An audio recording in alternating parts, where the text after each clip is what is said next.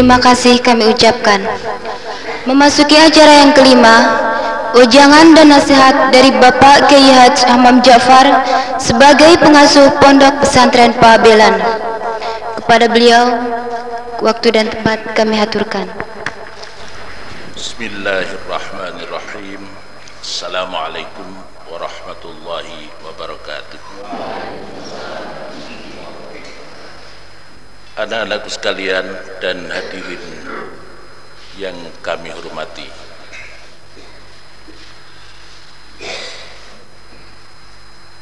Alhamdulillahi Rabbil Alamin Alhamdulillahi Rabbil Alamin Alhamdulillahi Rabbil Alamin. Wassalatu wassalamu ala sayyidil mursalin Sayyidina Muhammadin wa ala alihi wa ashabihi ajma'in. Amma ba'du La in syakartum la azidannakum la in kafartum inna adabi lasyadid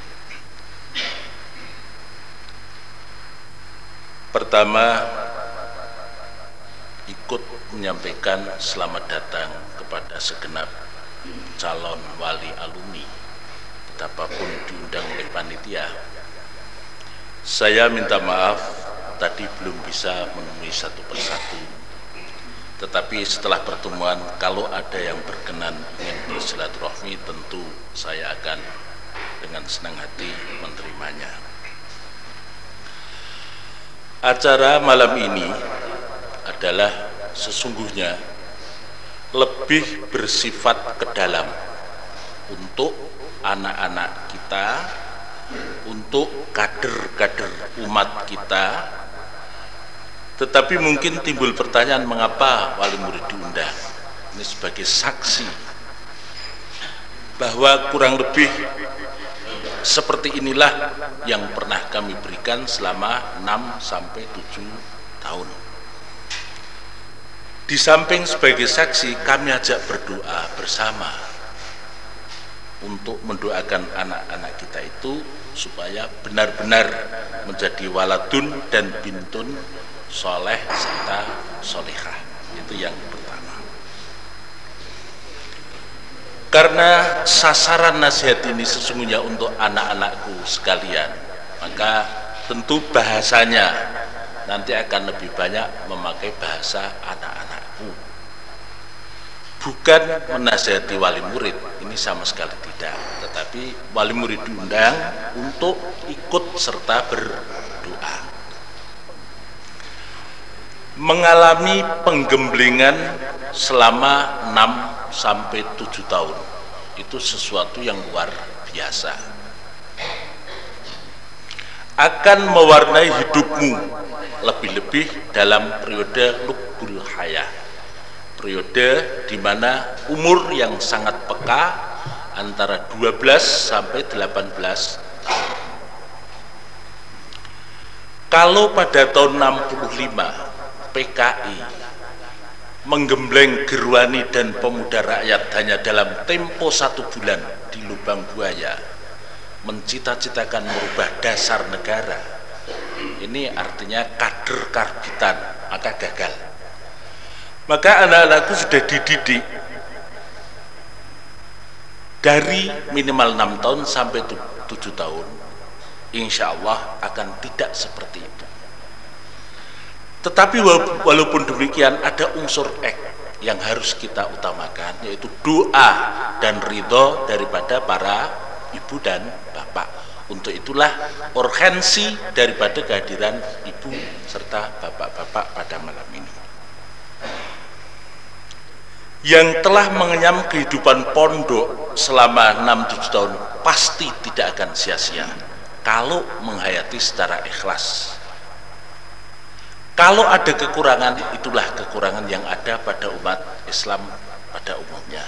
Dan kalau ada kelebihan, itulah apa yang anak-anakku ikhtiarkan. Maka tekanannya adalah selalu sebesar keinsafanmu, sebesar itu pula keuntunganmu. Latihan-latihan yang ada, baik dari yang paling kecil menjadi ketua kamar, menjadi ketua bulis sampai dengan mengikuti latihan-latihan di luar yang ada kesempatan pasti tidak akan sia-sia kalau semua itu dihayati dengan penuh kesadaran. Apa yang dialami itu tentu bukan sekedar untuk dialami saja tetapi diharapkan nantinya bisa diberikan kepada orang lain setingkat atau bahkan lebih ada beberapa tamu bertanya kepada kami kenapa pelajaran fikih kelas 1 itu dianggap seperti NU gitu. Ya menurut saya itulah yang paling baik. Sebab kalau di kelas 1 sudah diajarkan hal-hal yang ada khilaf, itu nanti akan membawa perkara bagi para santri. Usul fikih diberikan di kelas 3 karena sudah mulai berpikir, sudah mulai mengapa ada khilaf di dalam hal-hal yang furu. Semua yang kami kerjakan insya Allah karena niat kami adalah mencari yang paling baik untuk pada masa kini dan yang akan datang. Kami sendiri sesungguhnya semuanya itu diniati untuk beribadah. Tidak ada hal lain. Bahkan kami selalu mengatakan la nuridu minkum jazaan wala syukuro. Kami tidak ingin menerima minta hadiah ataupun terima kasih, tapi insya Allah kami berniat untuk beribadah jadi mudah-mudahan apa yang kita kerjakan ini diridhoi oleh Allah dan berbuah di dalam masyarakat nanti. Satu contoh yang pernah kami alami hari ini umpamanya. Nasional Gobel yang mempunyai pabrik elektronika mungkin terbesar untuk pribumi. Sudah minta pada kami guru dua orang untuk mendirikan pondok di Gorontalo dari Jember kawan kami yang pernah di Mesir minta guru lima orang. Sekarang pun masih minta lagi. Bahkan ketika datang ke Pabilan, mereka akan diberi guru-guru dari IKIP negeri. Mereka tidak menerima. Saya akan memilih yang dari pondok. Gobel tahun ini minta delapan orang lagi, empat putra dan empat putri tentu siapa yang ingin boleh mendaftarkan tapi tidak seluruhnya langsung kami terima kami akan melihat latar belakangnya kemampuannya serta mental di dalam kemungkinan menghadapi perubahan-perubahan yang berbeda antara Pabilan dan Gorontalo tapi ternyata yang Jember pun minta lagi karena katanya anak-anak Pabilan paling bisa menyesuaikan dengan keadaan Pesan kami kepada yang ingin melaksanakan itu satu, niatlah untuk beribadah dan membantu bukan ngurusui. Pertanyaannya, datang ini untuk ngewangi atau ngurusui? Dan ternyata anak-anak Pabilan dianggap membantu dengan apa adanya, tidak aneh-aneh. Kepada segenap anakku yang sudah 6 sampai 7 tahun harus merasa beruntung karena merasa beruntung, maka jangan sekali-kali meninggalkan pondok kalau masih ada tanggungan. Baik itu tanggungan dengan kawan-kawan, tanggungan dengan masyarakat di lingkungan pondok, apalagi yang mau punya tanggungan ke pengurusan pondok seperti koperasi dan lain sebagainya. Yang tidak beres dengan pondok pasti nanti akan jauh dengan pondok karena merasa malu. Yang hatinya saja sudah tidak bersih, pasti tidak akan dekat dengan pondok karena selalu salah sikap ngomong salah kadang-kadang kekecilan rumongso tapi juga ada yang kegedean rumongso padahal semua yang kami kerjakan betul-betul hanya insya Allah lillahi tidak ada niat lain kecuali ini adalah tempat di mana kami beribadah kalau ternyata di dalam ibadah kami ada kekeliruan, kami sudah sadar dari semula bahwa kami adalah manusia biasa. Hanya memilih ini sebagai medan ibadah. Pondok sendiri tidak pernah salah, sebab tidak pernah mengundang. Jadi barang siapa yang tidak setuju, silahkan pulang. Maka ketika di suatu tempat ada kiai yang didaulat oleh para guru dan santri saya tetap memihak pada kiai. Saya katakan pada mereka kalau kamu tidak setuju cukup pamit. Sebab kiai beribadah dan itulah cara kiai. Sejumlah itu orang yang disebut kiai macamnya juga sejumlah kiai yang ada itu. Sebab kiai kadang-kadang memang berbeda dengan bukan kiai kedudukan kiai tidak pernah dengan SK tetapi atas inisiatif diri sendiri dan insya Allah semua kiai dasarnya untuk ibadah. Kalau dalam ibadah dikeliru seperti saya katakan itu biasa. Dokter pun kena sakit penyakit influenza tetapi dokter tahu bagaimana cara mengobati influenza. Insya Allah akan lebih cepat sembuh. Kemudian bagi anak-anakku jangan menjadi buta sehingga fanatik gulungan sehingga fanatik keluarga fanatik partai ingat tahun 55 itu orang Masyumi dan orang NU itu jabat tangan saja ada yang tidak mau tetapi setelah tahun 66 masuk Golkar rangkul. Kita tahu persis bahwa sumber dan materi Islam itu Quran dan Sunnah Rasul. Tetapi kalau yang memahami Kiai Haji Ahmad Dahlan jadinya memang Muhammadiyah. Kalau Quran dan Sunnah Rasul itu dipahami oleh Kiai Haji Hashim Ash'ari Hadratus Syah itu jadinya N tetapi kalau yang memahami itu Hasan Bangil jadinya Persis. Saya kira orang Muhammadiyah tidak akan pernah berani menyalahkan orang NU secara mutlak demikian pula orang Persis tidak akan pernah berani menyalahkan Muhammadiyah dan NU. Itu masalah kemampuan dan kapasitas untuk memahami Al-Quran dan Sunnah Rasul tentu nanti dengan ijma' kias masa ilmu mursalah dan ikhtisan dan lain sebagainya. Qur'annya mutlak benar tetapi manusia yang memahami tidak benar. Kemudian kepada anak-anakku saya sudah akan mengawali bagaimana cara introspeksi.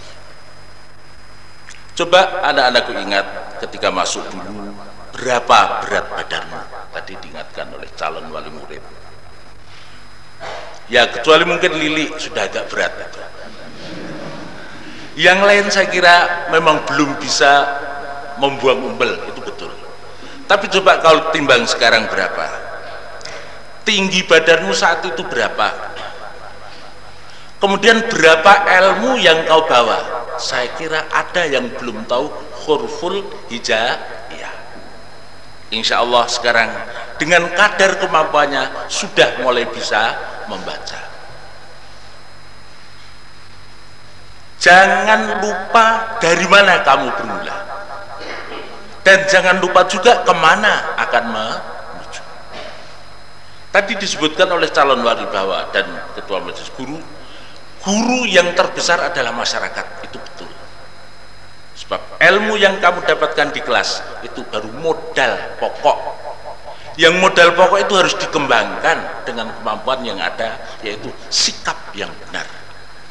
Ilmu ada tetapi sikapnya salah kita akan gagal.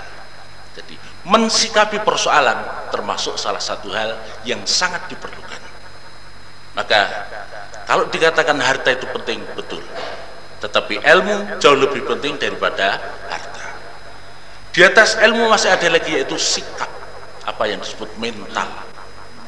Nyali untuk berbuat. Nyali untuk berani mengamalkan hal yang diyakini. Itu sangat diperlukan. Kemudian kalau nanti sudah di dalam masyarakat kadang-kadang ada santri. Puasa ini saya mendapatkan lima surat dari bekas santri Babilan atau masih mengaku santri. Katanya mimpi ketemu saya ada yang minta maaf ingat dulu mencuri jambu. Katanya mungkin belum direlakan. Saya baru bertanya siapa anak ini? Sebab kalau saya akan membalas saya harus membayangkan santri itu yang macam apa. Untuk menyertai nasihat di dalam menjawab surat itu kalau lupa jangan-jangan salah alamat. Ini baru saya tanyakan baru ketemu tiga. Maka yang tiga sudah jawab yang dua belum. Ada yang satu cukup berani itu hidup di anak di NTT ya itu di satu tempat dengan tidak pernah mendapatkan berita dari orang tuanya. Saya mendengar itu saya panggil. Karena dia katanya juga mimpi ketemu saya. Itu bagus kata saya. Mimpi ketemu guru itu baik. Apa pun mimpinya. Tetapi kalau mimpi kemudian memusuhi itu memang tidak baik. Ada saya kadang-kadang tidak tahu. Ada anak yang mimpi merasa dimusuhi oleh gurunya. Itu tidak. Mimpi ketemu guru itu alamat baik bukan alamat tidak baik. Kemudian yang sudah keluar pun insya Allah hati kami masih dekat.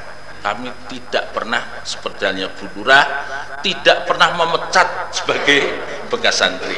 Ya ada satu dua seperti kemarin anak datang diajak bicara itu tidak benar saja jawabnya. Saya katakan ini masih hari raya. Daripada kamu ngomong terus tidak benar buat pergi saja kata saya.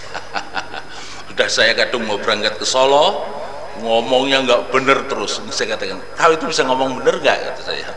Malah salah lagi. Ya sudahlah daripada salah pergi aja kamu kata saya. Itu tidak marah hanya mengurangi kesalahan. Sebab selalu salah. Iya dah kami akan selalu ngaroh ke jangan dikira bahwa santri yang sudah keluar kami tidak mendengar suaranya. Anak Jakarta itu paling dekat dengan kami. Selalu tiap minggu ada anak Jakarta yang memberitahu anak ini begini ada yang bagus ada yang jeblok. Ya biar. Nanti kalau sudah kembali kan akan baik lagi memang proses. Kadang-kadang baru menjadi mahasiswa sudah bukan main suaranya. Merasa dapat ilmu baru semua dikritik karena ilmunya baru. Ya biarkan saja itu proses tidak apa-apa.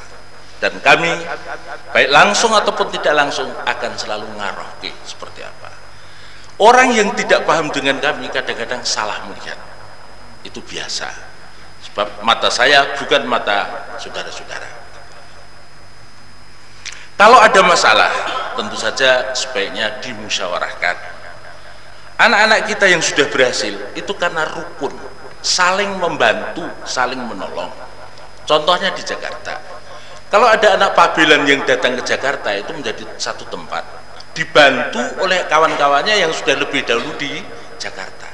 Tapi lucu juga ada anak sudah lama di satu tempat didatangi anak pabelan malah tidak mau dekat. Khawatir diminta tolong. Nah itu enggak benar. Orang yang semacam itu sebaiknya diundang saja ke pabelan biar nanti sana sehati bab siapa pun selalu mendapatkan perintah dari Allah ta'awanu alal birri wat membantu orang yang perlu dibantu dan menolong orang yang memerlukan pertolongan. Saya setuju sekali dengan apa yang dinasihatkan baik oleh calon wali murid ataupun Bapak Majelis Guru tadi. Tahu diri dan menjadi dirinya sendiri. Oleh suara merdeka beberapa waktu yang lalu dan Surabaya Posa ditanya kalau pondok kerapia itu mencetak kader NU kemudian pondok Muhammadiyah itu mencetak kader Muhammadiyah. Itu Pabilan mencetak apa? Saya katakan insya Allah saya berusaha untuk mendidik anak menjadi dirinya sendiri. Sebab kalau dicetak menjadi seperti yang saya kendaki jangan-jangan tidak cocok dengan wali murid. Jadi yang di rumah NU jadilah NU tapi yang lebih baik lagi begitu juga yang lain. Lain sebab kalau masalah perbedaan faham jangankan antara Muhammadiyah dan Persis atau NU dan Muhammadiyah. Sesama Muhammadiyah pun ada salah paham dan perbedaan. Sesama NU pun nah ini mengapa? Kiai Musta'il Romli Allah yarham almarhum. Dengan tebuiring itu NU semuanya itu tetapi selalu tidak bisa menjadi satu. Karena NU nya Rejoso Petirungan itu NU Torikoh. Sedang NU nya Tebuireng NU nya hadis Bukhari dan Muslim. Maka orang Tebuireng tidak pernah mengakui bahwa pembaruan Islam di Indonesia itu oleh Muhammadiyah. Pembaru Islam di Indonesia oleh Tebuireng dianggap tebu. Di dalam menghadapi torikohnya Kiai, Kiai Romli almarhum. Bukan Kiai Mustain tapi Kiai Romli jadi kalau masalahnya itu kita tidak perlu hanya karena itu kemudian menjadi tidak bertemu.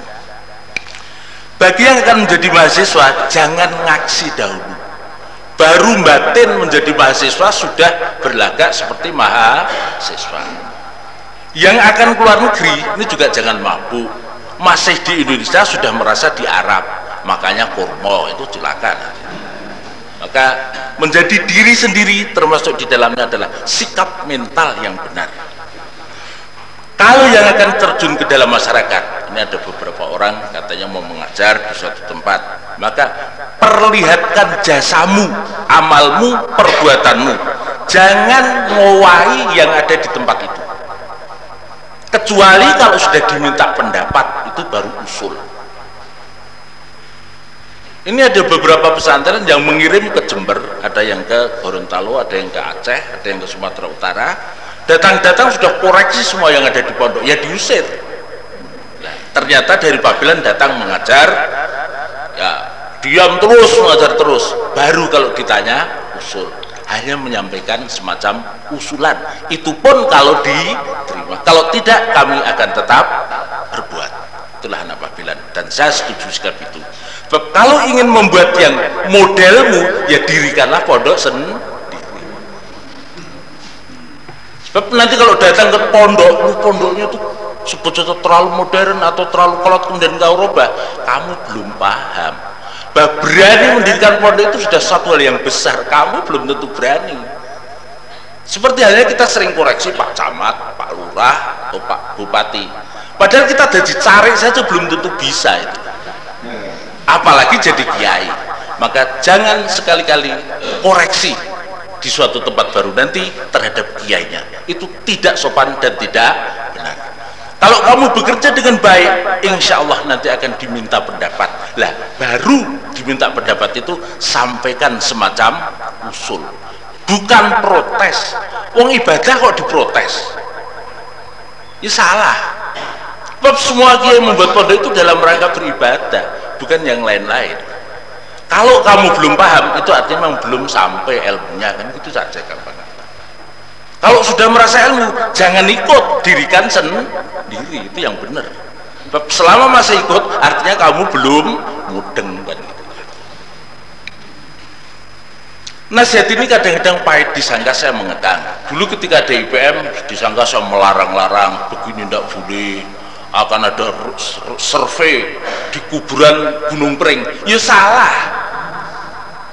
Coba pabelan survei di kuburan Gunung Pring. Bahaya apa tidak itu? Ya untuk waktu itu tidak apa-apa tapi pihak ketiga nanti kan mengadu. Itu kan ketololan yang luar biasa. Tentu saya tidak akan setuju. Masih banyak pekerjaan yang tidak mengundang. Masalah kok milih yang rawan itu ya tolol menurut saya tapi saya. Banyak sekali tamu minta supaya kolam itu dibongkar. Saya tidak pernah akan membongkar kecuali yang membuat itu sendiri yang membongkar. Atau seizin yang membuat. Toh kalau hanya mencari pekerjaan masih banyak sekali yang bisa saya kerjakan. Orang baru datang sudah merubah tarweh. Tolol. Itu ada peristiwa. Saya diminta menjadi imam tarweh di Kapolda Jawa Tengah yang diundang para suriah NU per karisidenan jadi lima suriah imamnya saya. Saya usul pada Pak Kapolda tapi sekaligus saya menjadi penceramah kata saya. Bab kalau tidak ini berbahaya kata saya. lu kok berbahaya? Lah ya minimal untuk saya kata saya. betul selesai terawih karena pesanan yang minta itu 443 Kiai Sahal Suriah PBN itu sudah angkat tangan. Kiai Hamam tarah 443 itu ajaran siapa? saya jawab ajaran Kapolda kata saya lu taruh apa jalan kapal lah yang diminta taruh di sini tuan rumah mintanya segitu ya saya turuti kalau kayak kurang tambahlah nanti jangan mikir dulu saya. Nah, ya sebab Kapolda itu jam 8 sudah harus ke kantor. Kalau 20 dengkol ini kesel kata saya. Lumayanlah mau 443 maka ketika saya ditanya kalau begitu Kapolda dengar. Loh sungguhnya dia yang benar itu taruh itu 8 atau 20 yang benar yang tarweh yang salah yang tidak tarweh samanya ketika Bapak Bupati itu baru menjadi Bupati Magelang. Ada ulama dari daerahnya satu kabupaten ke sini MUI datang ke sini membawa usulan. Dan wakil dari ulama setempat menanyakan pada saya tuh kata itu sebenarnya halal atau haram? Dan ini nanti akan menjadi fatwa ulama setempat katanya. Ya saya tanya di sana ada gurami enggak pak? Ada lele ada tawes banyak. Habiskan dulu lele gurameh tawes setelah habis baru kata. Kan tidak mungkin habis. Kok bikin masalah lah? Orang-orang seperti itu tuh watak bukan karena ilmunya itu. Selalu yang dipersoalkan tuh hal-hal yang gawat jilbab. Siapa tidak memakai jilbab? Lah lawang zakat saja tidak yang direbuk itu jilbab. Syahadat saja belum benar.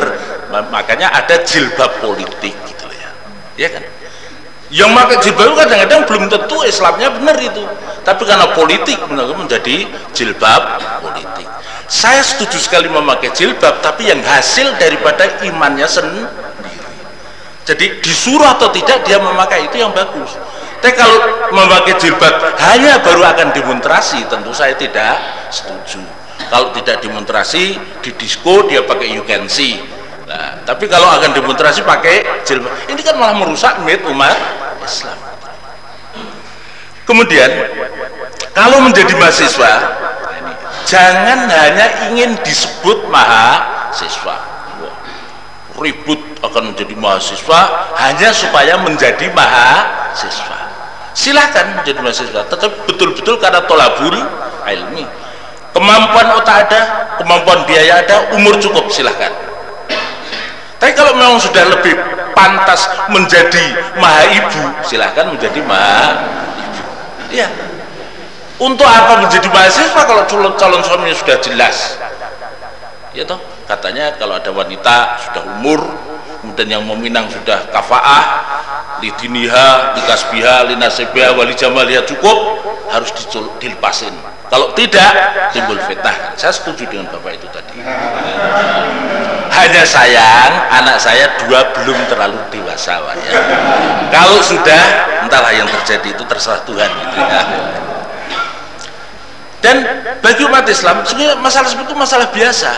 Para kiai dahulu masalah itu bukan masalah tabu bahkan teman saya Fuad Amin dari Cirebon itu ketika datang ke sini bilang kiai dia sudah menikahkan santri berapa? Belum kata. Lu gimana? Saya sudah menikahkan 97 katanya. Jadi kalau ada santri sudah dewasa, putra dan putri, orang tuanya ditanya apa boleh nikahkan. Baru nanti ke KUA. Tapi saya ingatkan, kalau tidak ke KUA nanti repot kata saya. Oh iya, nanti ke KUA. Yang ada yang sudah sampai 5 dan 6 tahun itu tidak usah minta dihargai tetapi harus selalu menghargai diri sendiri. Jangan marah kalau sampai rumah nanti tidak dijadikan imam masjid. Jangan marah.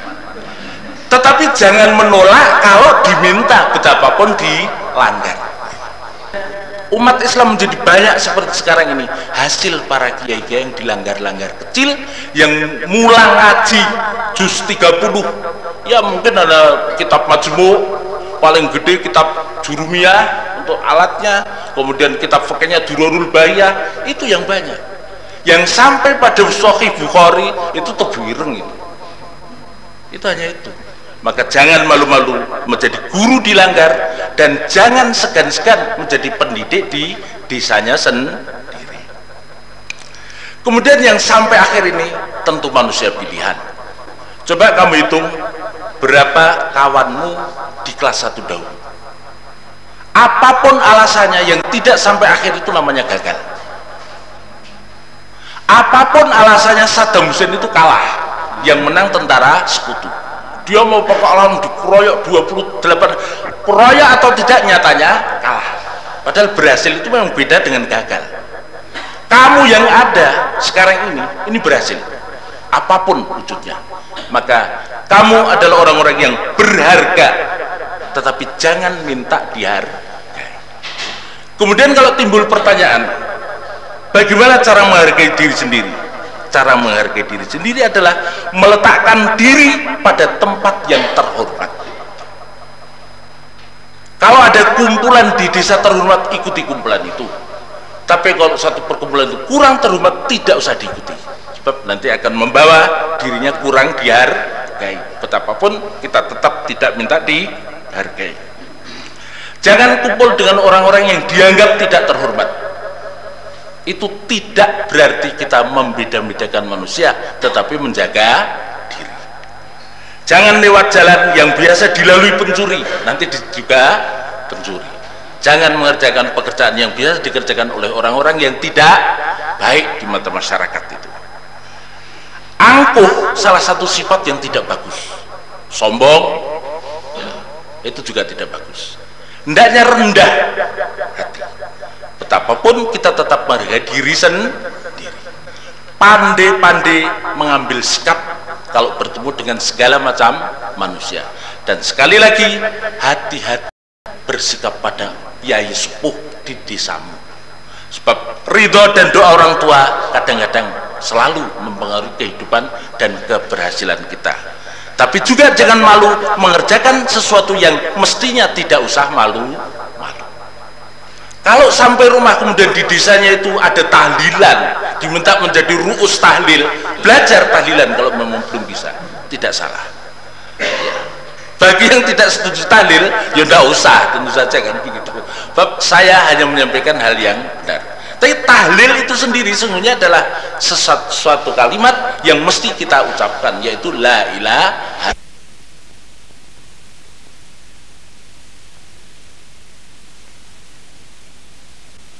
dari kelas 1 sampai kelas 6 itu adalah bibit yang harus ditanam bukan dimakan habis. Untuk menanam itu caranya adalah membeli buku. Tahu di Jogja itu ada dua kiai yang sangat terkenal. Yang di Jogja Selatan Kiai Matori. Kiai Matori sangat terkenal. Kalau beliau akan bicara itu mencari buku kecil-kecil di tepi jalan itu dibaca dan buku-buku kecil itu mengandung beberapa ajaran yang sesuai dengan masyarakat umum. Kalau kamu mau ceramah di desa kok membaca ensiklopedi tidak akan mudeng masyarakat itu. Ensiklopedi Britannica diceramahkan. This is the encyclopedia of Britannica. Disangka gendeng malah tentu ceramah di desa ya tentang keadaan desa itu.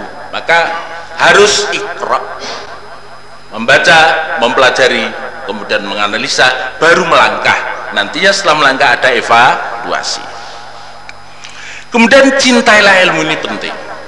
Orang yang sudah mencintai ilmu apa pun itu akan beruntung. Dan kalau sudah mempunyai ilmu kemudian merasa untung itu sudah benar. Jangan seperti orang-orang yang ya itu di EPM dulu itu ada itu. Wah salahnya kita itu jadi menjadi banyak masalah karena punya ilmu katanya yang paling enak mungkin tidak tahu apa-apa katanya. Itu ya ya mungkin juga tapi bagaimana kalau kita tidak tahu apa-apa? Ya repot juga. Sebab, sebab kalau tidak tahu apa-apa ya memang tidak tahu apa-apa itu tidak tahu akhirnya bagaimana ya. Tapi mencintai ilmu itu sangat penting. Karena khairud dunya wal akhirati ma'alim di atas ilmu adalah sikap. Kalau bertambah ilmu merasa nikmat itu betul tetapi kalau bertambah ilmu kemudian tidak merasa nikmat itu salah. Menjadi mahasiswa senang karena menjadi mahasiswa itu salah. Tapi kalau senang karena bertambah ilmu itu berarti betul. Bagi yang tidak mungkin karena beberapa hal mungkin karena umur mungkin karena biaya mungkin karena kesehatan maka membeli buku. Banyak membaca. Seperti di Jepang. Saya lewat Jepang kereta api itu tidak ada orang yang tidak membaca di Jepang. Semua itu membaca. Tidak seperti di Indonesia itu kalau kereta api berhenti itu melihat sampai stasiun mana gitu. Di Jepang enggak. Sebab sudah pasti di Tokyo jam 12 itu terlambat satu menit sudah menggerutu semua orang. Jadi mereka itu membaca melihat jam. Membaca melihat jam. Kurang dua menit sampai stasiun yang tujuh dia siap-siap. Begitu berhenti turun pasti pas dan di mobil, di bis, bis kota, kereta bawah tanah seluruh manusia itu membaca. Lain kita, kita itu di masjid yang ngobrol di sawah mesti yang mencangkul juga ngobrol gitu. baru kerja saja ngobrol. Kantor-kantor PBNU itu PP Muhammadiyah itu kalau kita datang baru ngobrol biasanya. Kalau tidak ngobrol yang membaca surat kabar. Jadi budaya membaca kita sangat kurang. Maka saya anjurkan para santri calon alumni ini banyak-banyak membaca beli buku apa saja asal yang baik. Tentu yang baik sudah tahu sekarang sudah. Kami anggap mulai dewasa bisa memilih buku yang mana yang perlu dibeli dan mana yang tidak perlu dibeli. Belajar di muka murid penting sekali. Itulah sebabnya maka anak kelas 6 kami tuntut untuk ber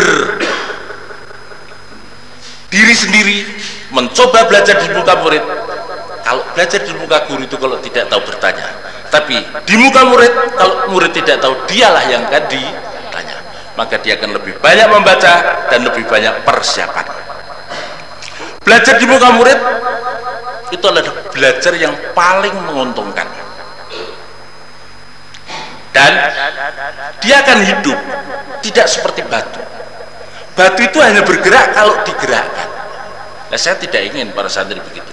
Kemarin ada tamu mengusulkan supaya anak itu dibuat siap pakai. Langsung saya jawab saya tidak setuju. Kata-kata pakai itu kan menjadikan orang objek. Saya ingin para santri itu siap mandiri.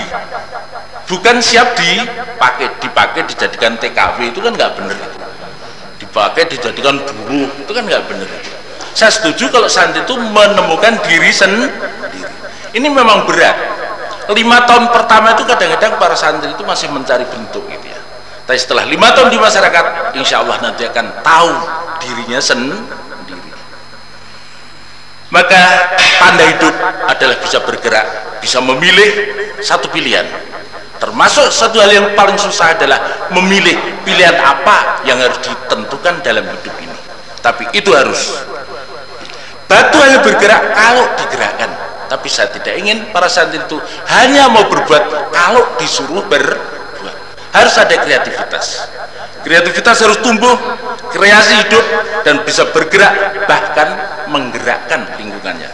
Lil imani atharun wa atharul imani al amalus solehat iman mempunyai bekas dan bekas dari iman di lingkungannya pasti ada amal soleh kalau orang mengaku beriman kemudian di lingkungannya tidak ada amal soleh itu tandanya pura pura kemudian kalau ditanya bagaimana sesungguhnya kita itu? Ya bentukmu itulah yang akan menentukan harga dirimu sikap tingkah laku seperti tadi disebutkan oleh wakil pelajar tingkah laku tindak tindak tanduk sulah bau munamu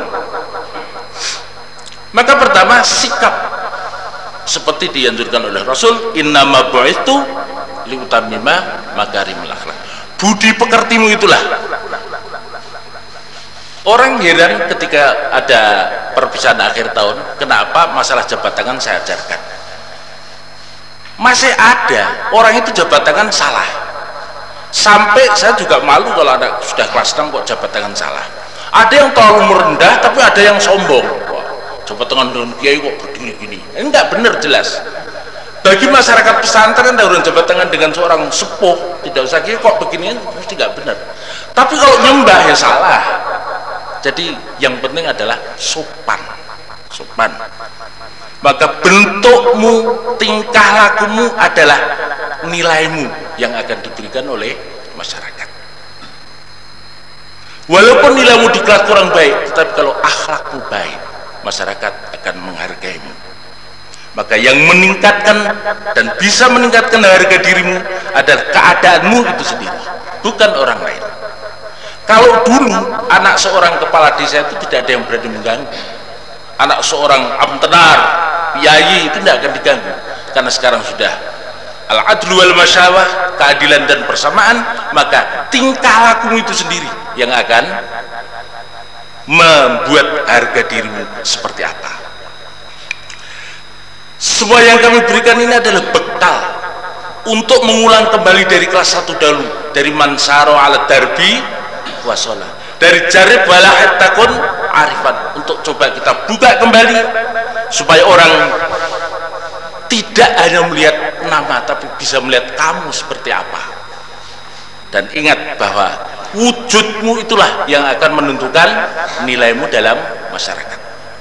Maka jangan sekali-kali di dalam masyarakat menjadi ekstremis. Itu tidak bagus.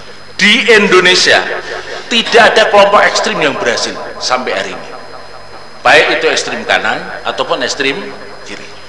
Yang menengah umatan wasata itulah yang berhasil. Lihat saja NU dengan segala keadaannya hidup terus. Tetapi Masumi yang dianggap hebat dan radikal ternyata berhenti di tengah jalan. Maka dalam sikap hidup kita bukan karena saya tidak senang atau senang NU atau Masumi tapi bukti membuktikan bahwa semua yang ekstrim apalagi sempalan tidak pernah bisa berhasil. Orang kelompok sempalan itu kalau sudah akan berhasil sempal lagi kelompok ini menjadi besar sempal lagi. Ya tidak pernah berhasil. Ini secara ilmu. Tetapi bahwa kemudian setelah kami sampaikan seperti ini masih ada yang milih seperti itu itu bukan anjuran saya. Dan tentu sudah bisa menimbang segala resiko yang bisa di dalam beramal tidak boleh pilih-pilih. Menjadi guru di desa malu menjadi ceramah kalau tidak di hadapan kawan sebaya malu tidak benar dan jangan menutup kemungkinan-kemungkinan yang bisa kau capai lewat hal-hal yang baik seperti pengajian di desa pimpinan tadarus dalam bulan puasa itu penting kalau kamu akan beruntung, pahamilah masyarakatmu, kemudian untuk memahami dirimu sendiri. Maka yang terakhir, sekali lagi, jangan menjadi diri orang lain, tetapi berusahalah menjadi dirimu sendiri. Dan untuk itu disimbolkan sebesar keinsafanmu, sebesar itu pula keuntunganmu. Belajar di mana-mana sama saja, yang di sini maju, di tempat lain pun akan maju yang di sini mundur di tempat lain pun akan mundur maka dari itu kepada segenap anakku yang akan melanjutkan silahkan melanjutkan hitung semua persiapanmu kemudian yang akan terjun ke dalam masyarakat siapkan dirimu untuk terjun ke dalam masyarakat. Tapi ingat masyarakat adalah guru yang paling bijaksana guru yang paling pintar dan kalau menghukum kadang-kadang tidak bisa diperkirakan. Maka hati-hatilah betapapun tidak perlu takut asal kamu yakin bahwa yang kamu kerjakan adalah hal yang benar dan untuk itu, maka terakhir melihat sama-sama mohon pada Allah. Dengan sama-sama membaca istighfar dahulu astaghfirullahaladzim. Astaghfirullahaladzim. Astaghfirullahaladzim. Astaghfirullahaladzim. Alladzi la ilaha illa huwal hayyul qayyum wa atubu ilaih astaghfirullahaladzim. Alladzi la ilaha illa huwal hayyul qayyum wa atubu ilaih أستغفر الله العظيم الذي لا إله إلا هو الحي القيوم وأتوب إليه. اللهم صل على سيدنا محمد وسلم ورضي الله تعالى عن كل صحابة رسول الله أجمعين والحمد لله رب العالمين. ربنا هب لنا من أزواجنا وذريتنا قرة أعين واجعلنا للمتقين إماما. ربنا هب لنا من أزواجنا وذرياتنا قرة أعين واجعلنا للمتقين إماما. ربنا هب لنا من أزواجنا وذرياتنا قرة أعين واجعلنا للمتقين إماما. ربنا آتنا من لدنك رحمة وهيئ لنا من أمرنا رشدا. ربنا لا تؤاخذنا إن نسينا أو أخطأنا.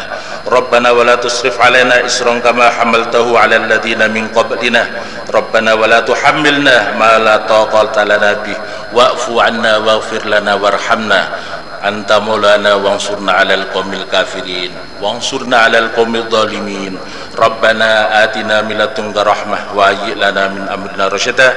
ربنا آتنا في الدنيا حسنة وفي الآخرة حسنة وقنا عذاب النار. ربنا آتنا من لدنك رحمة وهيئ لنا من أمرنا رشدا. اللهم أعنا على ذكرك وشكرك وحسن عبادتك. سبحان ربك رب العزة عما يصفون. وسلام على المرسلين والحمد لله رب العالمين الفاتحة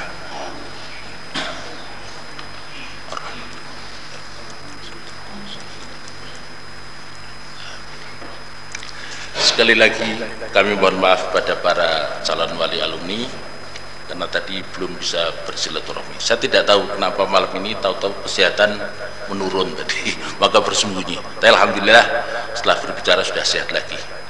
Assalamualaikum warahmatullahi wabarakatuh.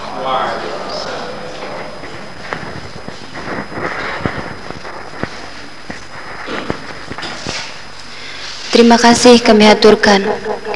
Memasuki acara selanjutnya yaitu lagu syukur Kepada yang bertugas, waktu dan tempat kami persilahkan.